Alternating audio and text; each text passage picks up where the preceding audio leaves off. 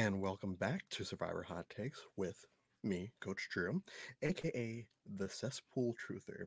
Uh, today, we are talking about that online cesspool uh, known as Survivor Reddit, or just the Survivor online community in general.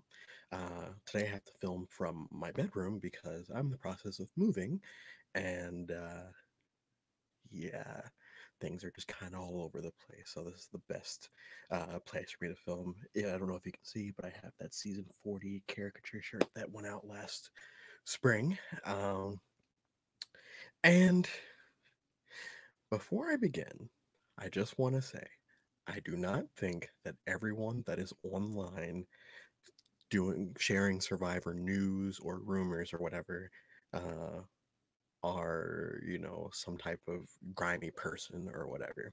Uh, having said that, uh, especially with the new seasons coming out you start to see a lot of rumors starting to spread. And my first introduction to uh, the Survivor rumor mill was probably, I want to say, right around when I was in college, where people, for some reason, want to know who sleeps with who at Ponderosa. And I'm sitting there reading it, and it's like everyone is everyone's either shipping them, which I have no problem with shipping. What I do have a problem with is when people post things and try to state it as fact. So you'll see someone will, will type in like it'll it'll say um, is it true that this person slept with this person? And then there'll be 500 comments of people saying, oh, yeah, because I heard from this person, heard from this person. And it's usually total bullshit. But because the online survivor community, and I, I'd say most large fandoms have this issue as well, where it just becomes saturated with a bunch of bullshit. And that's why I refer to it as a cesspool. Uh, so, like I said, I wanted to get that out of the other way. I do not think that if you participate online with Survivor, that you are some type of bad person. So, um, the first, I guess, rumor going on right now is eh, I don't think that I don't think it's been confirmed as of yet. I know it's been heavily pushed, um, but that Survivor's dropping down to 29 days for season 41 and maybe for the foreseeable future. I personally don't have a problem with it, but and it seems like the majority of people don't have a problem with it either. Having said that, there is a very large vocal minority who thinks it's going to somehow ruin the game because they're not having to do what you know people all the way back in season one had to do or well season two doesn't count because they had 42 um but that somehow change it's destroying the game. And you hear this a lot whenever they introduce anything into the game you know whether it's redemption island. Did it really ruin the game? No. Do people like it? No. Uh fire tokens. It's still you know up for debate. It's only happened once. Uh, immunity idols. You know yes i do feel like there are too many idols now but do i think that it's inherently ruined the game? No. Um so you know people thinking that it dropping down to 29 days somehow um, limits eh, somehow you know changes the game that much to the point where it's not the same game anymore it's always going to be survivor. What i what i've always tried to preach is every season of survivor is a different game different version of survivor. So when people say oh yeah chris underwood he shouldn't have won edge of extinction i'm like well why? Oh, because he got voted out and it's not fair. I'm like, well, in that season, that was a part of the rules. You get voted out and come back in. You know, you, you yes, if it if that wasn't there, yeah, obviously he shouldn't have won because he wouldn't have been back in the game. But the fact that these rules and these things are being put into place people just have to deal with it. I mean, we're not the ones playing in it. Now, if the people playing in the game say that they have qualms with it, that's a different story. But in that case, just, just don't play. It's simple as that. Um, but to say that 29 days is going to, I, I feel like that'll up the gameplay a, a lot more because uh, yes, I'm I'm a staunch advocate of the social gameplay. Um, but having said that, people are going to have to start strategizing a lot earlier because everything's going to be boom, boom, boom. And all of a sudden you're sitting at the end and you haven't done anything because all that time that you would usually spend getting to know people was, you know, is now limited. Um, so yeah, I think there will be more exciting gameplay and, you know, the the sociopaths that that love the strategic element of the game they'll get their fix um we'll get i'm pretty sure we'll get a lot of tears on screen because it's going to be a lot of people's feelings getting hurt um but i think that whoever pulls out this win i, I mean it hasn't happened yet we don't know but i feel like a winner that wins in a shorter amount of time might be more respected just because they don't have that much time to do all of these things. That means they, they're doing this in such a short amount of time that, you know, if they were to pull it off, and one person will, it'd be amazing. Uh, so I think I think the the the issue I think the issue that I, I'm seeing with these people is and it's it's it's the same with like I keep saying with almost any fandom. You introduce new things that people are not used to, or you you you change you change one little thing, one little thing, a 10 day thing, uh, that people aren't used to, and all of a sudden it's not the same anymore. If it wasn't the same anymore, they wouldn't call it Survivor. Uh, so I think that needs to chill out a little bit. And it looks like it is dying down a lot within the last two weeks. I think the news came out two weeks ago. So yeah. Um, but then we fast forward to last week, and this is where the cesspool part of this comes through. Because the internet is the internet, and you have to believe everything that you see on the internet, uh, it was allegedly leaked uh, what the theme for Survivor 41 was going to be. And so it's going all over the place, and everyone's really buying into it. Um, I didn't see many skeptics, which is insane because there are always skeptics about anything online. Uh, so the fact that I didn't see anyone being skeptical about this made me think, oh, okay, it might be real. I haven't seen it confirmed anywhere, but it could be real. So you go online, you go online it's like oh yeah yeah this is this is what the the theme's going to be this is the cast list these are the pictures of these people on the cast everything seems like it's on the up and up. I know i know a couple of people that are in the know in the real community and you know they they were hesitant to say yes to but uh they were kind of on board with it. And you know then it comes out that it was all faked um, from the screen grab of the script to the cast members to all of it. It was fake. Now we could be our chains could be being yanked with that with people telling us it's fake just to throw us off our uh, throw us off the scent and that actually could be real. But i think the the the the bigger issue here is I think because we haven't had Survivor in so long, the first bit of Survivor, or the two big pieces of Survivor news that come out within a three week time frame, everyone immediately hopped on board with and believed everything that was said. When usually people are very skeptical about everything. Um, just just look at things happening in the world and a certain fight that happened last night, and it's like there's so much there's so much uh, that could be wrong with this, but you guys are just going to take it. Now, I'm a guilty party with this. You know, I absolutely fell for the theme uh, because it seemed realistic, which is the point of people fooling it. It's just like the um, the Paul McCartney is dead lie from that might be going right over most of people's heads, but um, that was a lie back in the day that Paul McCartney had died, and you see it all the time with Twitter every day. It's oh, someone died, and it's like, did did they? And, and then Sinbad will come out and say, "Oh, I'm not dead. The internet lied." Um, so, do I think that that theme could still be it, and this is just a red herring to throw us off? Yes, Will I be surprised if it was just an an elaborate scheme just to like get everyone riled up? Also, yes. Um, I'm not one to just put all of my eggs in one basket when it comes to rumors bec- until something is confirmed, you know, from the big survivor media outlets, you know.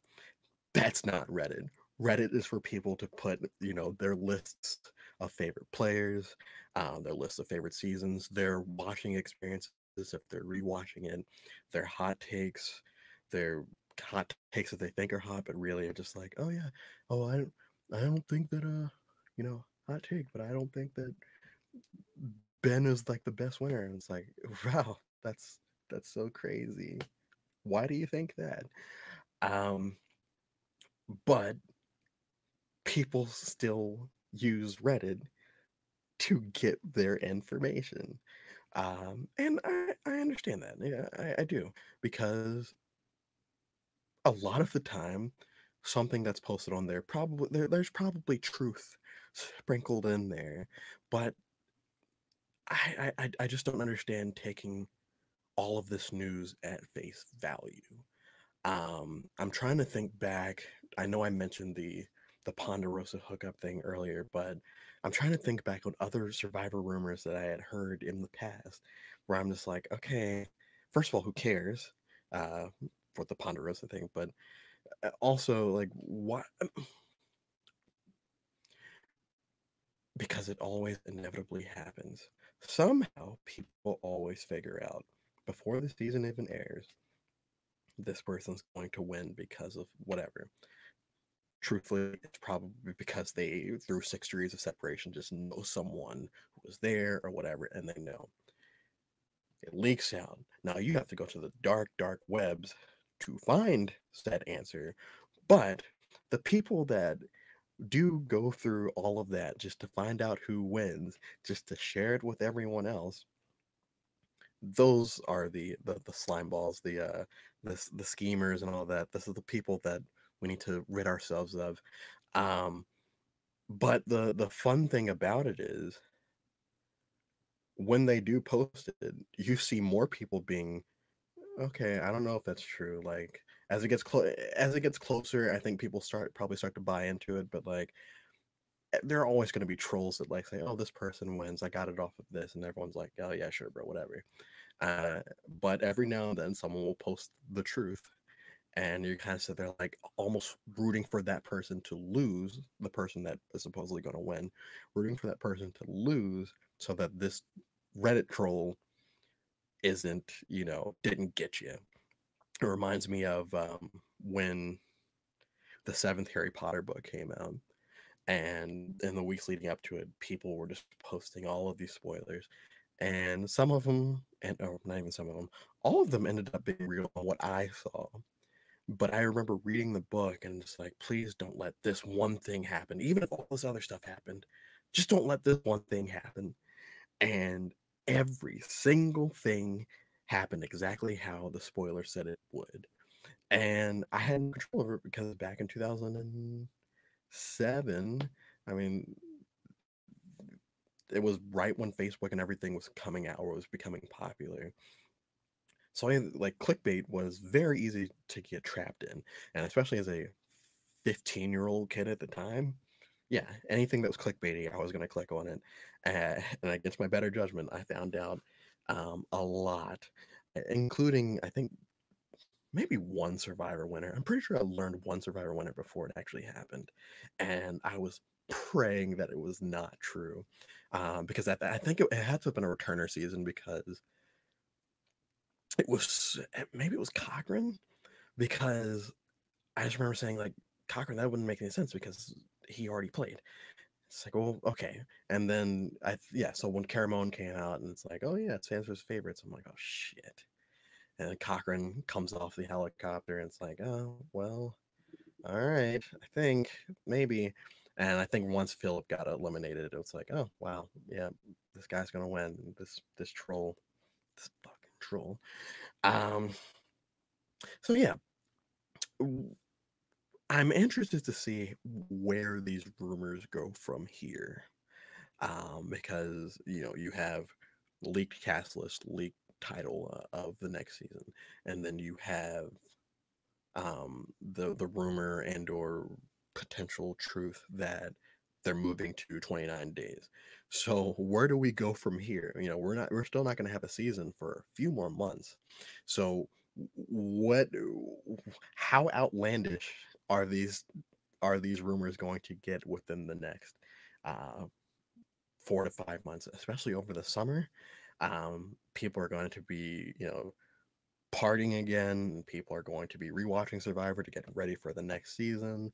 And there's going to be all these variables. And, you know, I'm just, I'm asking people, I'm begging people, don't believe everything that you see on Survivor Reddit. Because if you start spreading it around, you know, it could be true, it might not be true, and you're you're not you're ruining the fun for everybody else. Um, but I'm interested to see where the next step of these rumors are going to go going into season 41. Um, will they? How many more potential cast leaks will we have? Um, how many potential? Oh, well, we know they're filming in, uh, in Fiji, so like I don't think I don't see anyone being like, "Oh no, did you hear they're actually you know filming in New Zealand now?" It's like, "Oh really? That's cool, cool." Um, so where yeah, where do we go from here? And I think that that's a very interesting thing to um, ponder because we have nothing else going on unless you're going through Survivor again, which I am. Um, your your Survivor thoughts, your Survivor whatever has to go to Reddit because where else are you going to get your Survivor content from? So yes, you're going to go on Reddit and you're going to post your um, your your top rankings and your your takes about how uh, Bob Crowley is the greatest winner that's ever existed, and those are cool because it gets it gets people debating, and I and I love it. I love a good debate. Um, but when you see someone post like, "Hey," season 41 secrets revealed just if you're going to click on it kind of you know do it just knowing that this is potentially just all bullshit and move on with your day but don't don't repost it you know? It's just like hey do you think this is real? Like what's up? Don't share it with everyone because no Oh, it's so frustrating. It's so frustrating because this is this is supposed to be the what I would say the pure fandom, and the fact that it's not um, pure fandom, and the fact that it's it's slow, not even slowly. It's been happening for I think like 15, 15 years. I would say since the messiness started online. Um, this is supposed to be yeah, yeah, blah, blah, blah, blah, blah, blah. Not like, oh, did you hear that Survivor 43 is going to be uh, an all legend season? Well, how do you know that, bro? Um, but yeah, so we were, I know we said last week that we were going to do a uh, deep dive into Survivor Marquesas this week.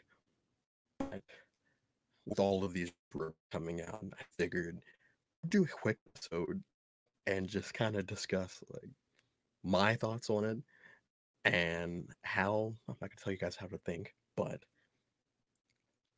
don't trust Reddit. It's a cesspool. Uh, but we will be back next uh, next Sunday uh, with finally our Survivor Marquesas um, deep dive recap, and hopefully I can sway a lot more people into, you know, I I've always said that Marquesas is probably the most underrated season. And I think Sepia is the most underrated, uh, and hopefully we can uh, we can discuss next week. And um, yeah, I'm really interested to see.